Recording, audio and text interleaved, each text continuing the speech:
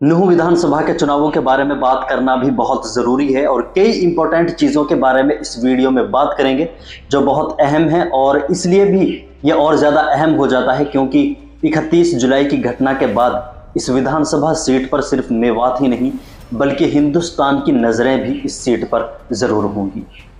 फ़िलहाल नुह विधानसभा सीट से कांग्रेस के प्रत्याशी आफ्ताब अहमद हैं, जो 2019 से 2024 तक नुह से कांग्रेस के विधायक रहे। कांग्रेस में वो परिवहन मंत्री के अलावा कई और पदों पर भी कार्यरत रह चुके हैं। लेकिन जो उनके सामने है, इनके बारे में जानना बहुत ज़रूरी है। उनके सामने एक तो भारतीय जनता पार्टी के उम्मीदवार संजय सिंह हैं, जिसे नुह से बीजेपी पार्टी ने नया उम्मीदवार बनाया है। 2019 में इस सीट से बीजेपी के उम्मीदवार चौधरी जाकिर हुसैन थे।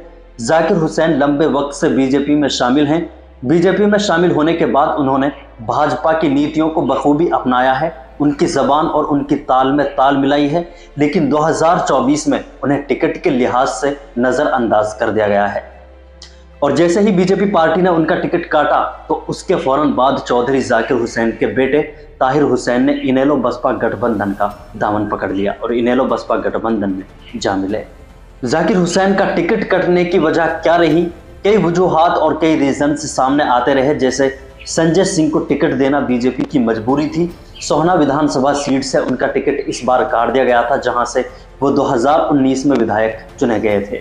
नुह विधानसभा में उनका हिंदू समाज के लोगों में काफ़ी प्रभाव रहा है और ख़ास तौर पर भाजपा के जो वोटर्स हैं, उनसे संजय सिंह की करीबी ज़्यादा रही है।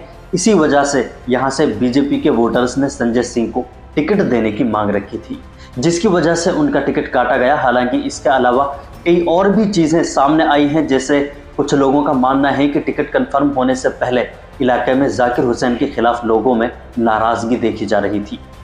हो सकता है इस वजह से भी नज़रअंदाज किया गया हो। बहरहाल, मेवात के इस खानदानी नेता और मेवात की कदीम सियासत के वारिस को इस तरह नज़रअंदाज करना वाकई अफसोसनाक और हैरान कन तो ज़रूर है। लेकिन लोग ये सब कुछ उनके कर्मों और उनके अमाल का नतीजा भी बता रहे हैं। जाकिर हुसैन के बारे में अगर बात करें तो जब से उन्होंने भारतीय जनता पार्टी का दामन थामा है, तब से उनकी राजनीति में बदलाव देखा गया है। जाकिर हुसैन के व्यूज़, जाकिर हुसैन की आइडियोलॉजी पर एक तरह से भारतीय जनता पार्टी का पूरी तरह कब्जा लगा।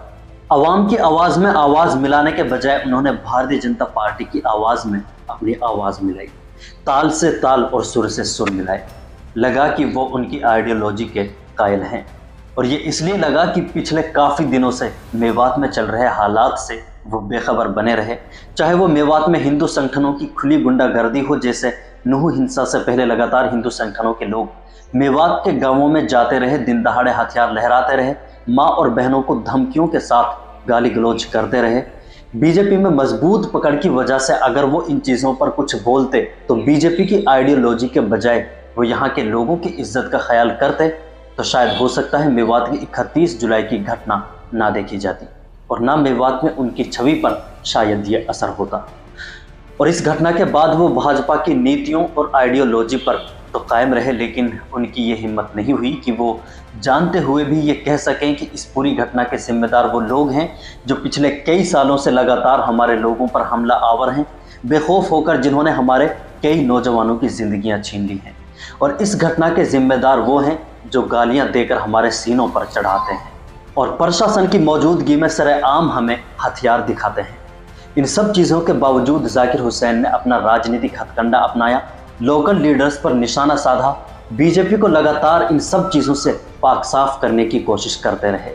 इस घटना के असली जिम्मेदारों का नाम तक लेने से हिचकिचाते रहे, उनका नाम तक नहीं लिया। उन्होंने बीजेपी पार्टी को अभी तक भी छोड़ा नहीं है और इसके बाद अब जाकिर हुसैन का राजनीतिक कैरियर कैसा होगा ये आने वाला वक्त बताएगा। लेकिन इससे पहले उन्होंने अपने बेटे को राजनीति की माला पहना दी है। उनके बेटे ताहिर हुसैन इनेलो बसपा गठबंधन से हैं। ये वही गठबंधन है जिसे बीजेपी का हिस्सा माना जा रहा है। ये वही गठबंधन है जिसके उम्मीदवार को जिताने के लिए बीजेपी ने सिरसा से अपने उम्मीदवार को बिठा दिया। ये वही गठबंधन है जिसके खुद नेता ये कह चुके हैं कि वो अपनी सीटों से बीजेपी की हरियाणा में फिर से सरकार बनाएँगे। इतना तो याद रखें कि गर्दन का पट्टा बदलने से चेहरा नहीं बदलता। और चेहरा बदलने से कर्म नहीं बदलते। और अब अगर नूह विधानसभा के चुनावी हालात के बारे में बात करें तो कुछ लोग वो हैं जो अपने हालात से कुछ सीखे हैं, जिन्होंने कुछ ही वक्त पहले इन्हीं नेताओं की नियतों का जायजा लिया, लेकिन कुछ लोग वो हैं जिनके लिए इन सभी चीज़ों से उठकर, समाज और कौम से उठकर आज भी गोत्र और पाल की अहमियत ज़्यादा है। और कुछ लोग वो भी हैं जो अच्छा और बुरा देखने के बजाय कदीम रियासत और विरासत को बचाना चाहते हैं। बहरहाल, जाकिर हुसैन ने बीजेपी पार्टी को छोड़ा नहीं है। उनके बेटे इनेलो बसपा गठबंधन से चुनाव लड़ रहे हैं। बेटे के चुनाव के लिए खुद जाकिर हुसैन भी मेहनत में जुटे हुए हैं।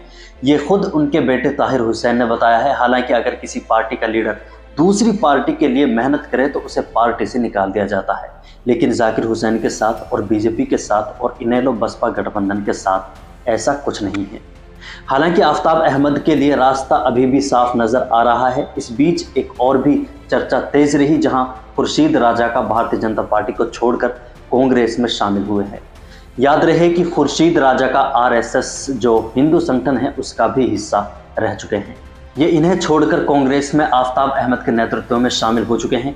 खुर्शीद राजा का ने इस मौके पर कहा कि भाजपा का विचार यह है कि वो अल्पसंख्यकों को, यानी माइनॉरिटीज़ को मज़बूत ना बनाए और उन्हें अलग अलग तरीके से बदनाम करें और कहा कि अवाम की जन भावनाओं और मेवात के लोगों की इच्छाओं के अनुसार मैं बीजेपी को छोड़कर कांग्रेस में शामिल हुआ हूँ। और जाकिर हुसैन को लेकर कहा कि जाकिर हुसैन जैसे जितने भी लोग हैं, उन सभी का पर्दाफाश बहुत जल्द हो जाएगा। इसके अलावा फखरुद्दीन एडवोकेट चंदेनी ने भी इनेलो पार्टी को छोड़कर कांग्रेस ज्वाइन की है। आफ्ताब अहमद के साथ चुनाव में खड़े होते हुए नज़र आए हैं।